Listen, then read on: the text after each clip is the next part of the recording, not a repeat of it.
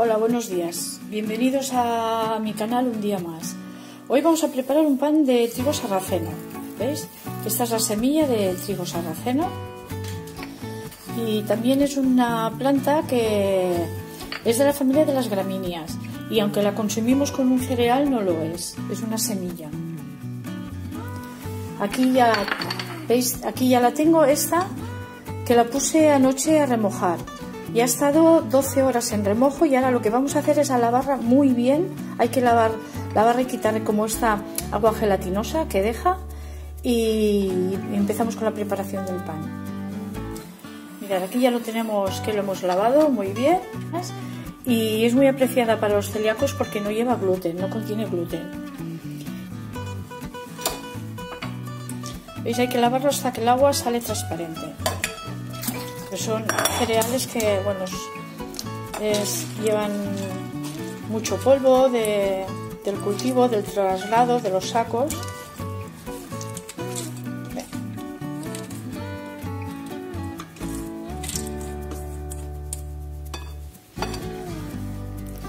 Y le vamos a poner dos cucharadas soperas de pilsio mirad, ¿vale?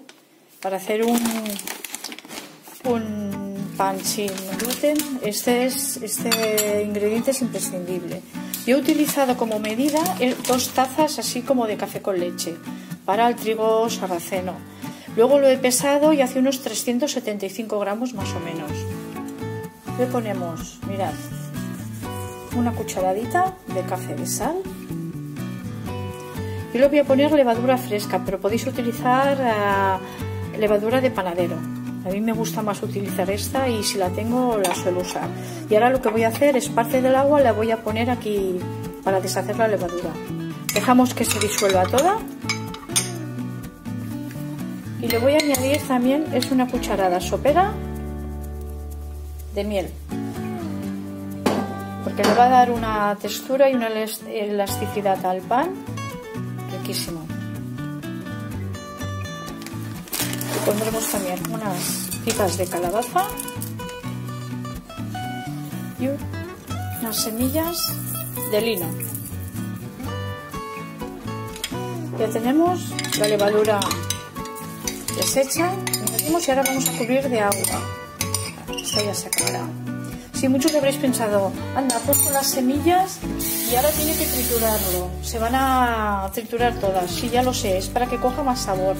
Luego, si queremos, cuando tengamos ya la masa toda preparada, le podemos eh, añadir más para que nos queden enteras. Tenemos que poner agua justo que cubra la masa, ¿eh? Más vale que luego si hace falta le añadiremos cuando ya lo tengamos todo triturado. Justito así, ¿eh? No nos pasemos de agua. Venga, vamos a triturar.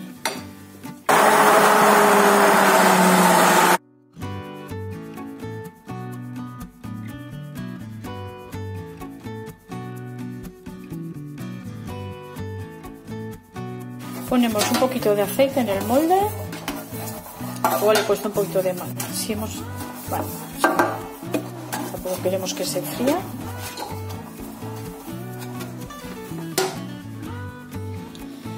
Ya lo tenemos y ahora lo vamos a dejar, tenemos que dejar que fermente, pero yo lo voy a dejar ya, que como es una masa, ¿veis ya la textura que tiene?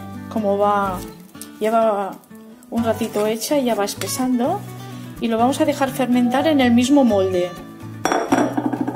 ¿Ok? Extendemos así para que salga uniforme. Tapamos, ponemos en un sitio cálido y dejamos reposar. Y ahora sí que le voy a poner unas cuantas semillas de calabaza por encima. Si tenéis eh, de pipas, de, lo vosotros que queráis. Y ahora tapamos con un paño y dejamos que hasta que mínimo doble su volumen. Todo dependerá de la temperatura, nos costará más o menos. Luego os digo el tiempo que lo voy a tener.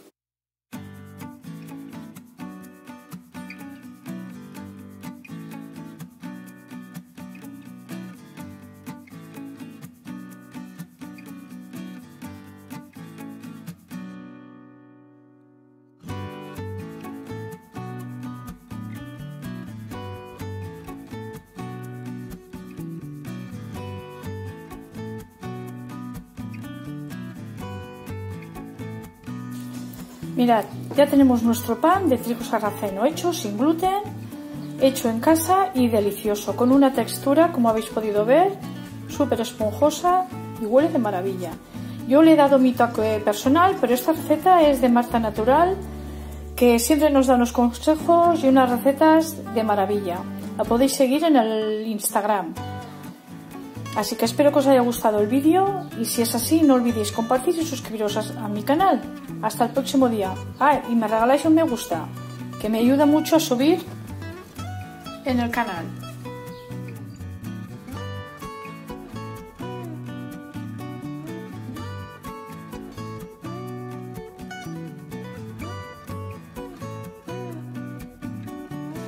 Ah, mirad, una forma de consumir el siempre perfecto, este tipo de pan, es que cuando, si no lo vas a gastar en 4 o 5 días, eh, porque si no es fácil que nos cambie el sabor y se estropee.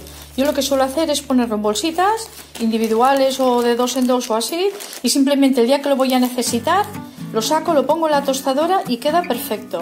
La verdad, probarlo porque es genial.